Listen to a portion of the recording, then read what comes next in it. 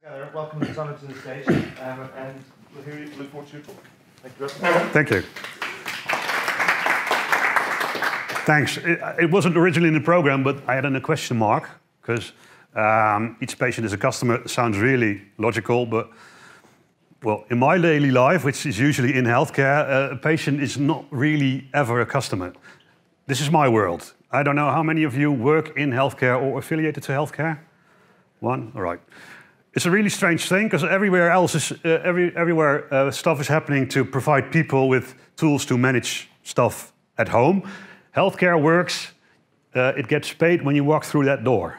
So it's actually a building which is always open, uh, where doctors are working, where you have to go and then you get a treatment or a prescription or something, and you go home and the hospital, hospital gets paid. It's like a really old-fashioned way of working for your customers. Um, and meanwhile, doctors are looking out, seeing what's happening with banks and mortgages and insurance companies and Uber and Airbnb and stuff. And well, it's kind of scary because they know things are going to change, but they're not really sure how to implement those changes in their daily life. Because when they open the door of their consultation room, the waiting room is full. And full means people, and people means payment. So there's not really much of a driver to change because as long as this is happening, doctors are getting paid and things are working. But the patients, which are actually customers during the rest of the normal life, they do like to change because uh, in daily life they're used to well i don't have to tell you but using mobiles tablets smartphones uh, desktops computers everything and in healthcare we're still at the level where if you want something from your doctor you have to call between 8.15 and 8.30 if you're 8.31 you get a tape saying sorry call tomorrow if you actually uh, get in touch with someone they're not going to answer your question but they're going to promise you they'll call you back which probably they won't, or they will not at the time you uh, uh, made the agreement. So healthcare really struggling how to connect this person, which is a consumer, to the person they're receiving during the day, which is a patient. So we uh, invented Beter Dichtbij, which is a really international name, which means uh, better close. Um, and what we're trying to do is to uh, uh, provide easy-to-use services for consumers we call them consumers specifically, uh, to improve the relationship between them and their doctor, or their nurse, or their team of nurses, or their GP. Um, which is kind of original. We've been founded by 28 hospitals. So our main shareholder is a sort of a 28 hospitals branch, united in the SAZ, which stands for Samenwerken Algemene Ziekenhuizen. They're the local, regional, small hospitals in the Netherlands. They're like really small.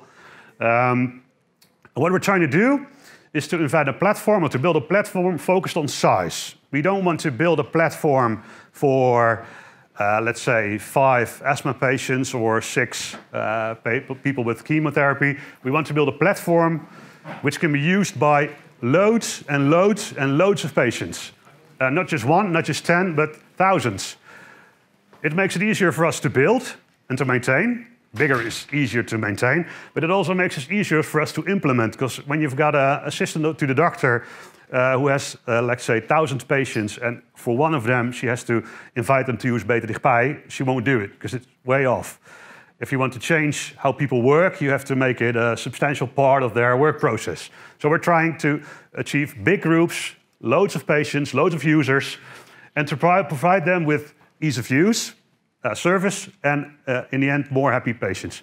Ease of use sounds logical, but in healthcare, healthcare platforms, uh, portals and stuff, ease of use is not the first thing people think about. it's uh, security, barriers, uh, a lot of doors. Um, and we try to help them with less time, less effort to maintain happy customers. It's a really easy task if you're on the outside, but it's a really hard task if you're in healthcare. Uh, we've been founded 18 months ago. Uh, we're now at 19 hospitals in all over Netherlands, uh, a dozen GPI, uh, GPs, about 5,000 uh, monthly active users, three to 400 new users a week, and about 10,000 messages a month. For commercial uh, parties, this is like really small. In healthcare, this is way big. Everybody in healthcare is complimenting us with our big growth because we achieved 19 hospitals and 1,000 messages a month. And we're just thinking, oh, wait, it's not, it's not enough. We have to go faster, bigger.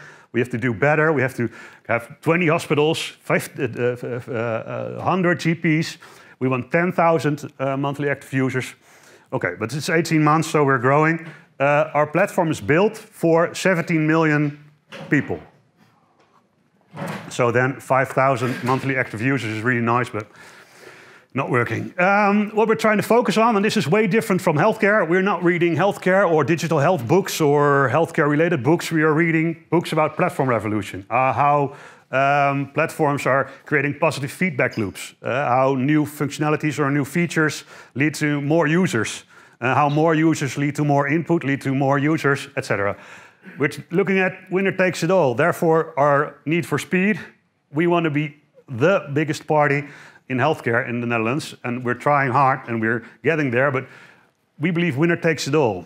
If a patient has a platform or a mobile app to, uh, to manage healthcare, he or she will not have 10 of those apps in the end, probably two or three, uh, maybe five, but not more. And we know uh, the crowd knows best.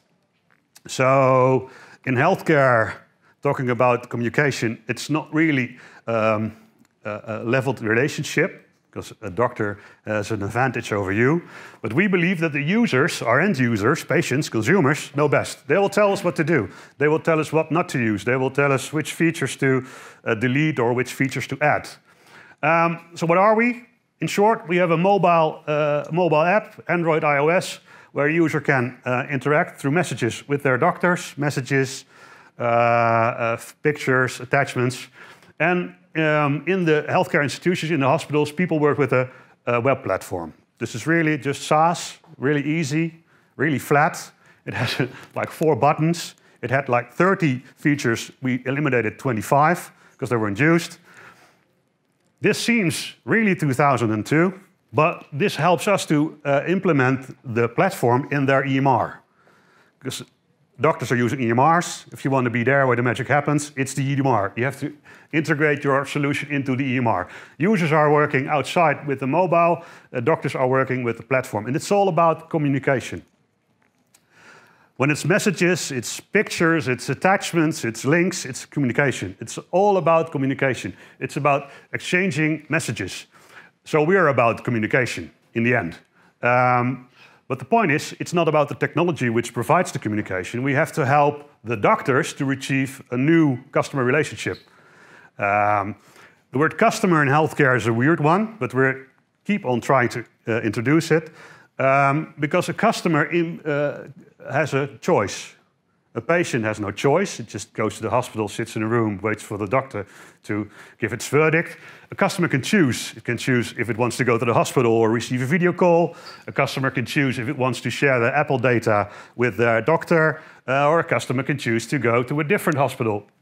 Um, so we're trying to uh, learn the doctors to look at them as customers and not as patients. It's kind of hard because the theme of today is contextual communication. It goes about the relation, the environment, and uh, the cultural context of the exchange. Well, this is the normal exchange.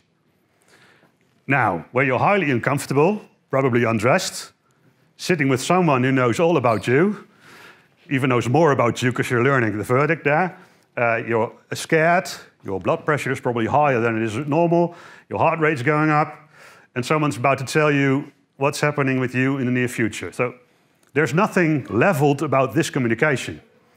When you walk uh, out of the room and you are about halfway down the parking lot, you remember only 75% of what's just been said. And about half of it is wrong. So when you come home and your wife or your son or your father or your mother says, What did the doctor say? What comes out of your mouth is probably not what you heard here. So we're trying to introduce a new normal exchange where you just are at home with your loving wife or your husband or your kids, uh, reading the messages in which the doctor says, We've got the test results, it all looking good. Uh, please come back in six weeks, or if you want, schedule a video call so you don't have to come to the hospital. If your wife asks, What did the doctor say? you can just or you can forward her the message or say, This is what the doctor said. You don't have to go to the hospital. You can read it in your own environment, in your own time. and in your own space. So this is the new normal exchange. To do that, it was really uh, looking really good to build it ourselves. That's what normally happens. You think you build a communication platform, we'll just build everything ourselves because then we know it's good. And it is good, but you don't get the speed. Um, and what we're trying to do is work backwards from uh, uh, the um, customer experience and not start with the technology. So if the customer, which is the patient, is used to using WhatsApp, uh, Facebook, uh, iDEAL, uh, whatever, Apple Pay, we can think about how to make uh, uh, a platform, but we can also look at how WhatsApp tried to do it. If we want to make a very, very, very difficult onboarding process, we can do that. But we'd also try and look how the banking business does onboarding. So we're starting at the customer experience and working our way back toward technology.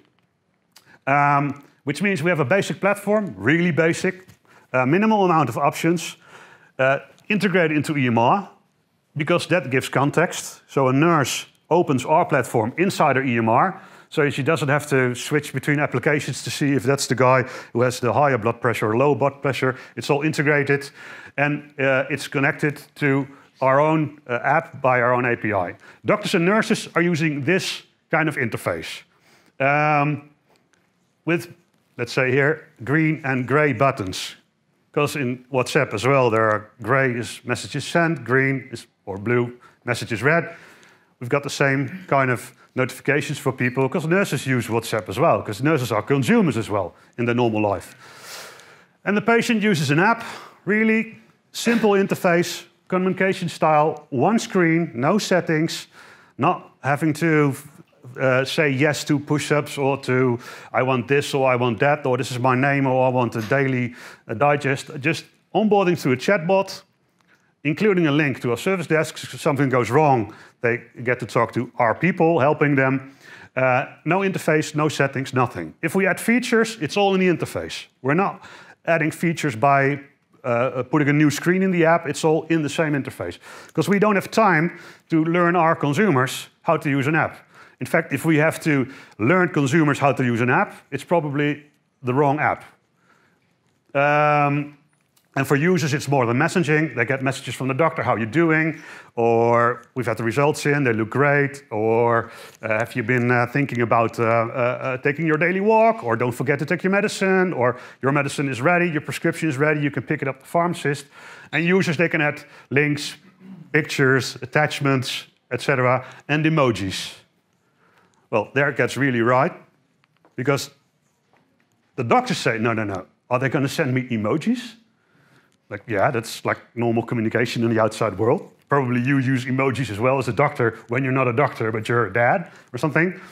So we let people use emojis. Well, in every hospital, every doctor says, "Oh, no, I don't like that. No, I don't want to. I don't want to receive emojis." And two weeks later, they're calling, uh, "Can I send them back as well?" Because I realize emojis for the consumer is really normal way of communicating. It's not really. It's not, it's not technical.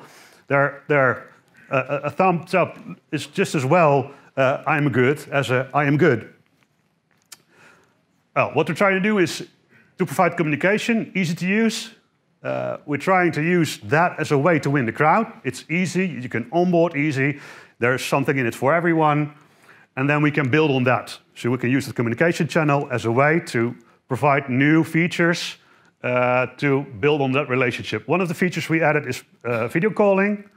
Uh, it's an added service. It's not uh, to uh, definitely to call every patient, but if you want, if the doctor wants, they can call a patient. And the next one is sharing data. Yeah? If data is available, why make it complicated sharing it with the doctor? But we don't want to be a tech firm. We got we got developers, our own developers, but we want to be a service platform, which means we're not going to build everything ourselves. We're going to try and bring consumer technology, technology from the outside of healthcare into healthcare, into our platform, which makes it easier for us to grow, grow, grow, grow, grow, and fast. There's only one way then. If you're not going to build it yourself, you have to integrate APIs. So what we did in Excel, for example, this is Thuisarts. If there are any Dutch people here, they probably know Thuisarts. If you're here Googling, let's say, knee, you'll get uh, Thuisarts content. It's founded by the Dutch GP Association about uh, 170k visitors a day. Um, and what they're doing is they're providing information about about everything. This is about a red eye, conjunctivitis. Um, so you can go to Google, you can Google about everything, find thuisarts and read about it. But there's no context. If you get the same link from your doctor, it's about you.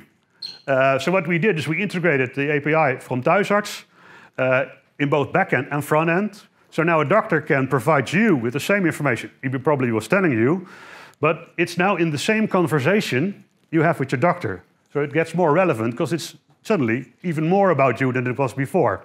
Way more value. Same thing we did with video calling. Video calling in healthcare is quite challenging. Uh, it's about the stability of the connection. It's about finding a room where can, uh, you can do it. It's about the infrastructure in hospitals with thin clients and stuff and webcams and stuff. So what we did is we uh, said we have to find something where nobody has to use a manual. That sounds really obvious, but we want to eliminate the use of, for using manuals. So we partnered up with uh, uh, KPN, KPN API Store, with uh, uh, Kandy, uh, WebRTC, and we added a button. So in our platform, if a user is onboarded with his app, it's all well, there's a webcam, it's a good browser, there's a button. If there's no button, it doesn't work. If there's a button, it works. So a doctor doesn't have to use a setup or a difficult uh, environment or have to look for a specific room. If he has a camera and the setup is right, there's a button and he can push it. Um, and what happens on the other side is a customer.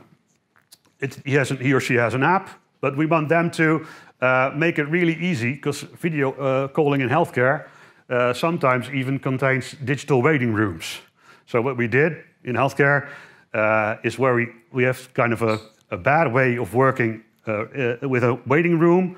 We're going to transform it digitally. And what we do, we build a digital waiting room. It's like really build, rebuilding the real world. But what we did is, well, we don't want to explain to users how to use our video calling.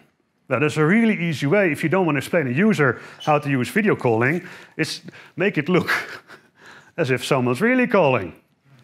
So there's no, our patients, of the patients using uh, our uh, video calling platform, you don't have to tell them what's happening here. Everybody knows there's someone calling, they're looking at the name of their doctor, and they can pick up the phone. So we just uh, built, uh, a sort of a way of calling where uh, uh, there's no explanation needed, and it's a giant positive feedback loop. In the, our hospitals, there are about five to 10 uh, video calls a week now, which means there are five to 10 people not having to go to a hospital to speak to their doctor. Well, five to 10 is not really that much, but it's kind of an effort because everybody's talking to their doctor now. Um, and nobody has to explain how this works. The next one uh, is this one. A lot of patients are, or users, consumers, are collecting data maybe in this way through Kardia, EKG, or an Apple Watch, or maybe even through Runkeeper, Strava, uh, specific uh, uh, apps about migraine, uh, uh, COPD, uh, heart disease, etc. What we found is that users are collecting data, which is probably at some point medically, re medically relevant or not. But it's interesting. If you got a patient who needs to walk around the block every day, uh, you can ask them, can you share your walking data with me? If they say they do it and they're not walking data, not sharing walking data, they're probably not doing it. There are a lot of diabetes patients um, collecting data about their uh, uh, glucosewaarde, um, about the sugar, and they're sending scanned copies of printed Excel sheets to a nurse who takes about 10 to 15 minutes typing them into their EMR. It's a really, it's a trained nurse. She has to do really different things than typing sheets. So we tried to tap into the possibility um, uh, so far for a sophisticated function, because every user on a mobile phone knows how to share data. It's really standard procedure. You share pictures, you share uh, tweets, you share all this information if it's not medical. But all medical apps Omron, Apple, Cardia, Kardia, MedApp, mySugr, etc., all have a sharing function. Really easy. You just export your data and you decide who to send it to. So what we did is we put ourselves in that little row. Really low tech, really low tech, because there's WhatsApp, there's Facebook, there's LinkedIn, there's Twitter, but there was no platform in healthcare. And we're there. So now if users have blood pressure data, their EKG, medication, or uh, about uh, my sugar, movement, fitness, Runkeeper, they can share that data through our platform with our doctors, which means the doctors get that data in a really structured way, not as printed Excel sheets with the have to scan and enter, but as an Excel sheet, a real live digital Excel sheet, which they can export to the EMR.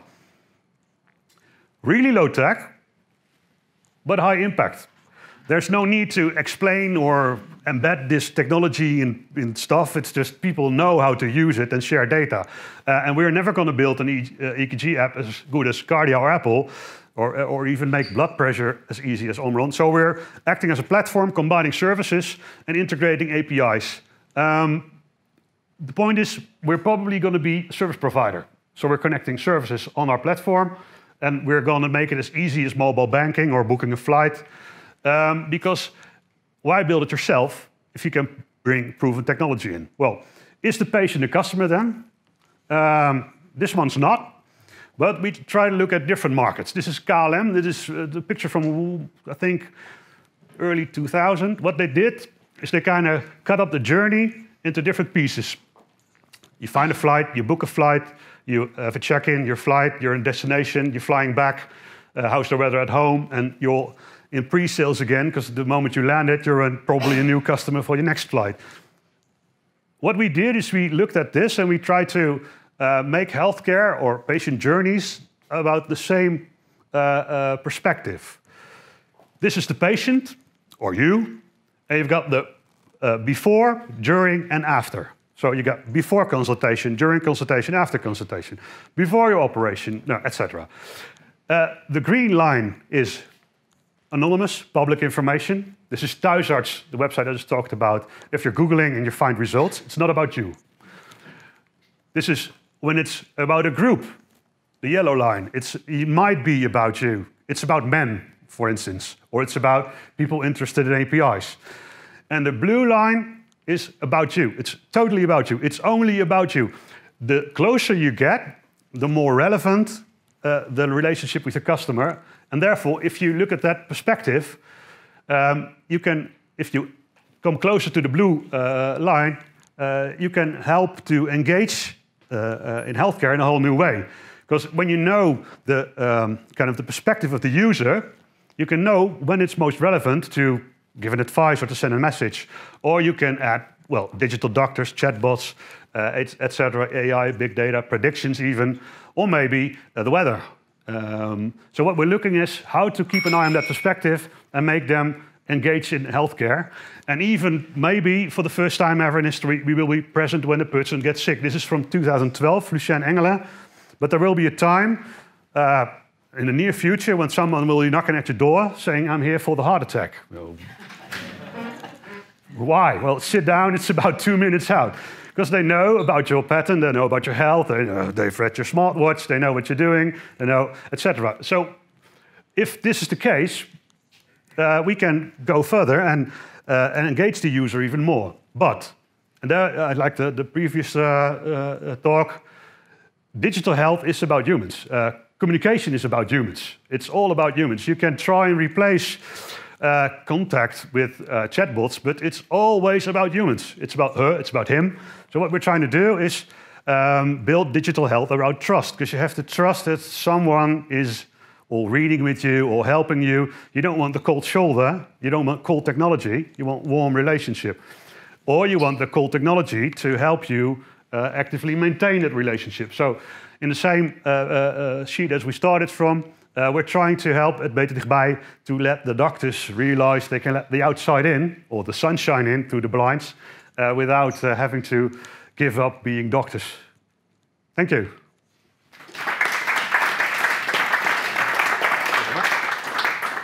So before we move on, uh, any quick questions? So we need to. Um... Red light's on. Does that mean it's on?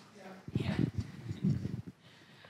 Uh, hello, uh, my name is Olga, and as a customer, uh, I also concerned about price of the health services. So, do you integrate with insurance companies? Because I also like usually you sign this agreement and you don't know what exactly included. Maybe I have like ten free physiotherapy sessions, or what can I do? How much is gonna cost me? Um, in, in, in the Dutch insurance system, Beter Dichtbij is free. Um, if you're in a doctor's office, uh, uh, it'll uh, cost you money at some point. Uh, your insurance company costs you money.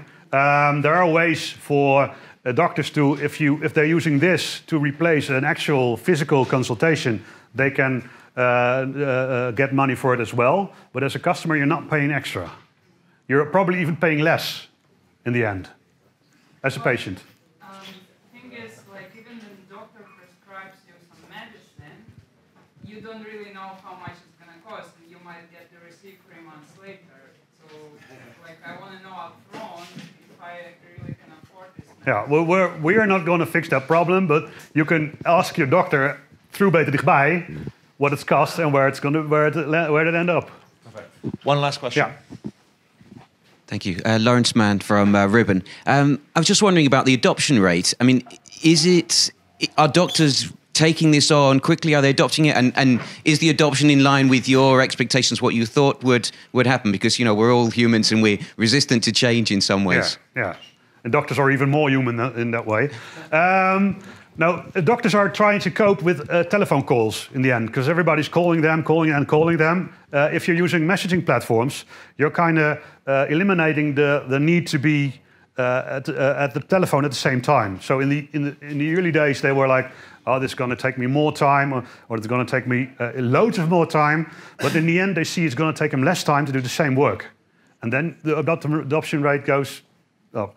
Adoption rate on consumer side is they everybody likes it.